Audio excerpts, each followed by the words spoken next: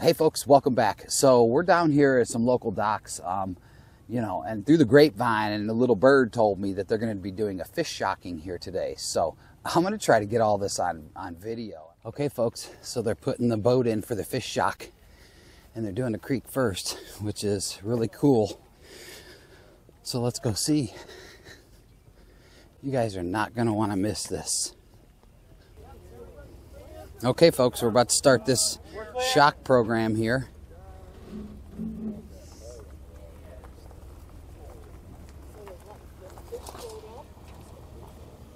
You look good on that stump there.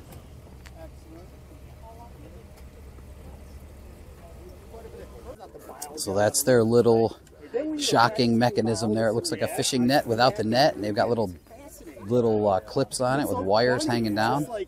It runs into a generator up there. Wow, that's that's pretty cool setup. And they got a generator right there in the middle.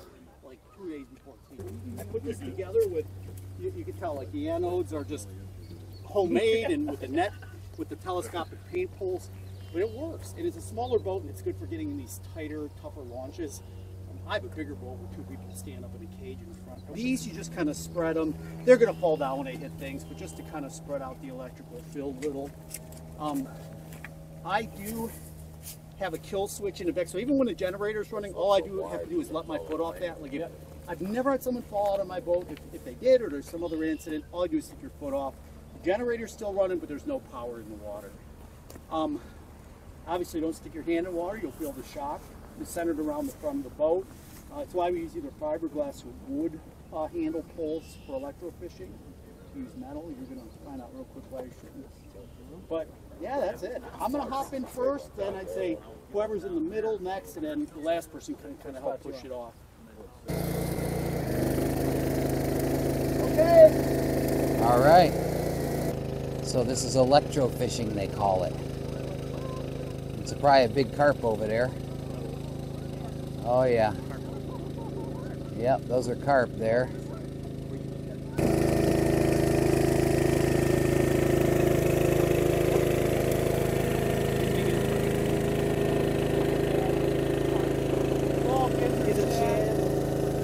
Yep, lots of gizzard shad down there. I see them all popping up. Oh yeah. Wow, look at all these carp they're getting out of here. Oh, there's your bowfin. He just pulled up a Oh, bowfin, yeah. There's a lot of bowfin popping up out there. You keep saying We're, we got enough bowfin, we got enough bowfin. I think they got one, you know. Oh, that was like a bowfin right there. That one was too. Wow, look at all those shad out there. Yeah, look at Oh, he's got something out there too, a big carp. Or... This is super awesome, folks.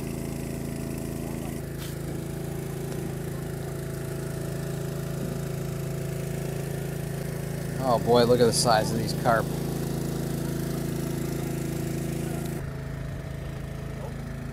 Oh yeah, that's another That's a bowfin. nice bow. Look at the colors on that one. All right. Wow, that's a giant carp. Oh, there's another bowfin right there. Wow, nice and green too, those green fins. Oh yeah, some big carp in here. Oh yeah, look at the size of these carp, folks.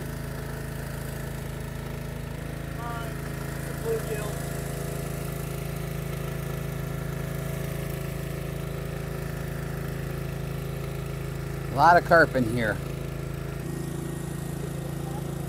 Oh, there's a bass. Okay, so we're out back doing our spring fish survey at Mentor Marsh and Marsh Creek. Uh, we did the Marsh Creek site first.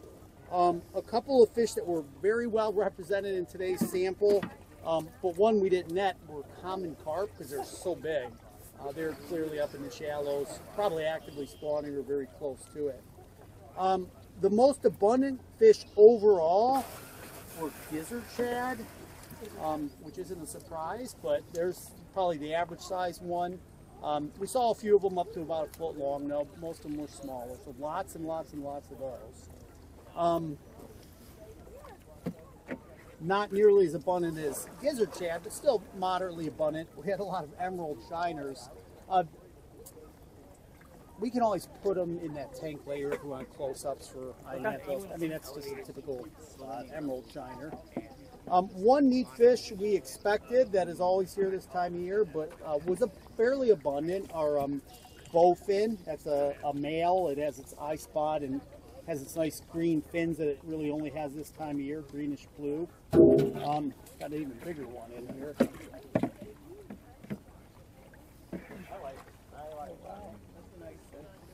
And again, I will say, um, I don't think the fish we collected are completely representative of what's out there because I just the electrofishing just was not as as um, effective as it normally is. But that's a I, we take diverted him back to the tank. So that's our bowfin. Um, one interesting thing. Normally, we get a lot of bronze-colored, natural-colored goldfish and common carp. Um, correct me if I'm wrong, guys. I only remember seeing this one, and we got them pretty early I on. I think we saw one more. so that that we is couldn't a uh, get.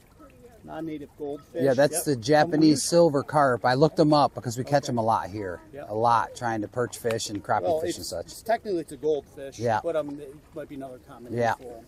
Uh, goldfish aren't all orange. That's actually the more typical color for them is gold. Right. Bronze. Yep.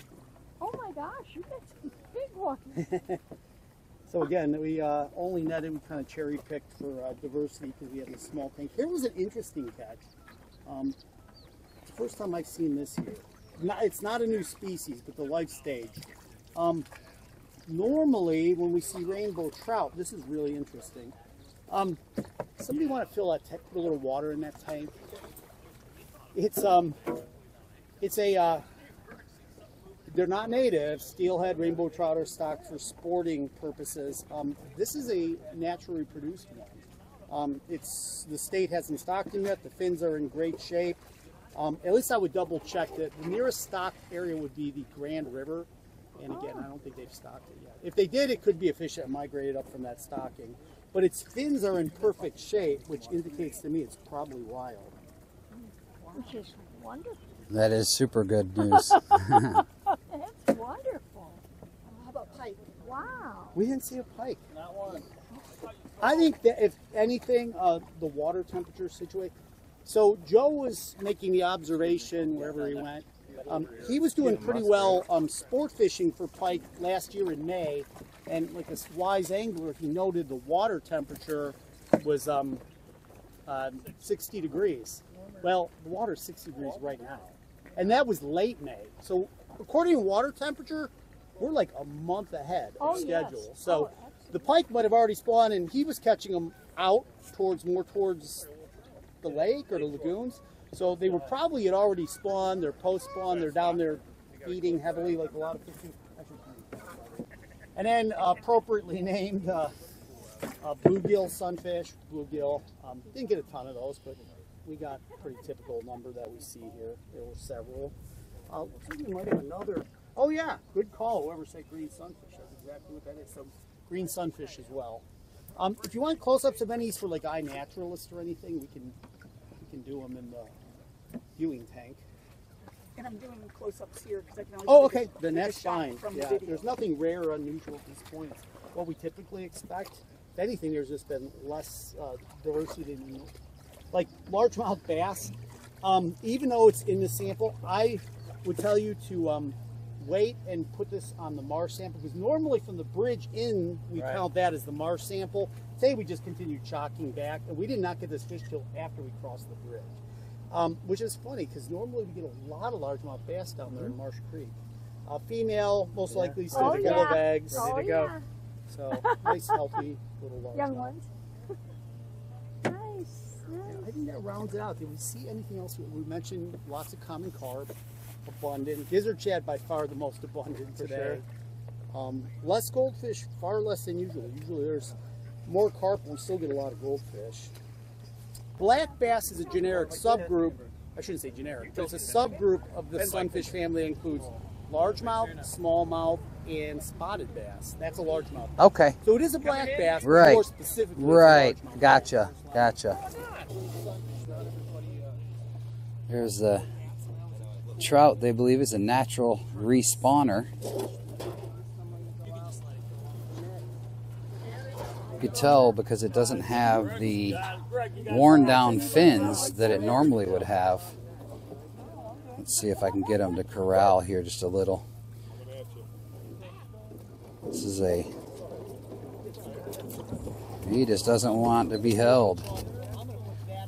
It is a natural rainbow.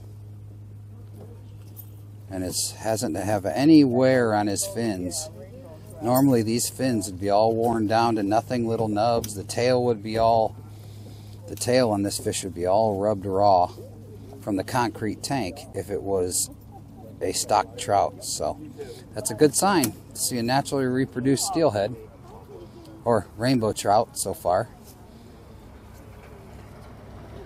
But yeah, you can get a better view of the of the fins there that are not worn down, which is a super good sign. Okay, folks, we're gonna let these bowfin and all these other fish go here. Let them go back. This is just for scientific purposes. He showed me once that it was walleye, so I said, well, I'm gonna give it the same walleye. I don't. Let's see. It's a little muddy now. So. It's hard to see with a fish. Oh no, I'm kidding. I'm kidding. Dave, you go ahead and go in first because the way the boat's going. These are the bowfin. Super green fins. Where'd he go there? You could probably come back this way. Oh, he got him, he got him. Okay. And then there's that there's a little one largemouth. in here, too. There's a little one in there. 90 degrees, that probably would be the ability. And then we'll let him go. lot of fish come up at the end, so. Okay, folks. Well, they're out to do the survey in the marsh. Um, thanks for sticking around. This is a super cool experience here to see this. So don't forget to hit that subscribe button. Give me a big thumbs up and leave me a comment. Let me know what you think. Talk to you soon.